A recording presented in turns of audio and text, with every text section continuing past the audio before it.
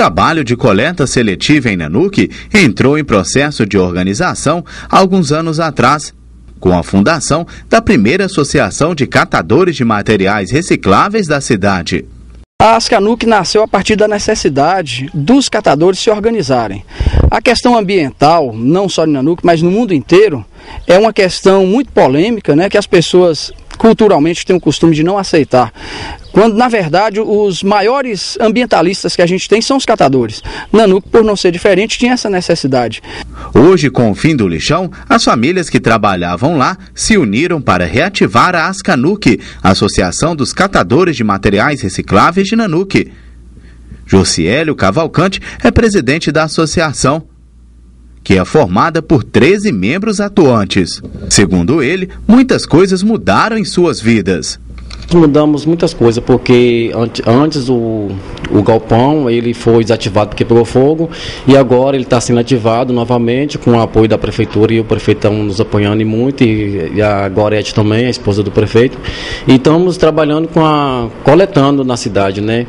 E aí melhorou a vida de muitos catadores.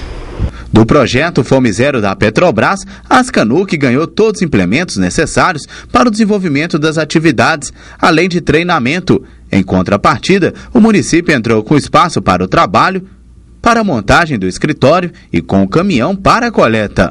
Petrobras ele doou para nós todos os maquinários necessários, né, prensa e outras coisas. E também temos o apoio da, da rede Acatavales, né, que estão apoiando nós desde o início. Dona Celina Rodrigues tem 58 anos. Há dois, ela se associou à Ascanuc e trabalha catando materiais recicláveis. É bom, sabe? Mas só que a gente está com pouca parceria das lojas, do comércio em geral. O povo não está ainda sabendo separar o lixo, que a gente não, não é todo lixo que a gente pega. A gente só está pegando agora papelão, PET e plástico. Então as parcerias que a gente tem são boas. E é assim, trabalhando, prensando o papel, que Josiélio lembra sem saudade dos dois anos que trabalhou dentro do lixão, catando materiais recicláveis, convivendo com mau cheiro, a sujeira, urubus e ratos, além, é claro, do sol forte. Muito sofrida, a vida do, do, trabalhador no lixão era muito sofrida e hoje melhorou 100% porque hoje tem como a gente manter uma, uma família, né? E antes não tinha como manter uma família. A princípio, a coleta está sendo feita em um frigorífico, nos supermercados e lojas da cidade. Os catadores passam duas vezes ao dia, pela manhã e à noite. Um trabalho importante de geração de renda e principalmente de consciência ambiental.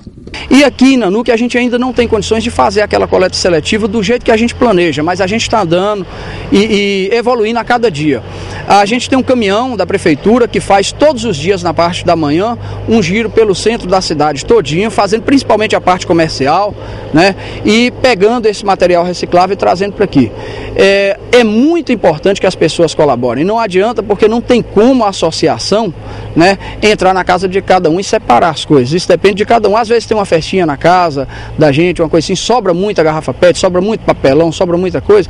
Quando é desse jeito, eu peço à população, pode vir aqui no, na SPAN, na antiga Nestlé, pode vir aqui, que é aqui que fica a sede do, do da associação, das Canuc, traz aqui o material que você vai estar ajudando muito, tanto a cidade como a natureza e os próprios catadores, uma associação que está com 13 pessoas ativamente participando, na verdade são 52 no ato do fechamento do lixão, e você vai estar colaborando bastante. E o comércio entra em contato com a gente, porque o comércio tem um, um, um volume maior, então pode entrar em contato com a gente, que a gente muda a, a rota do caminhão e faz passar. Geralmente na parte da manhã e na parte da tarde a gente tem um caminhão da prefeitura que está passando junto com os catadores, né, passando por aí e coletando isso. Os associados recolhem papelão, plástico, vidro, metal, alumínio e garrafas PET. Você também pode contribuir separando o seu lixo.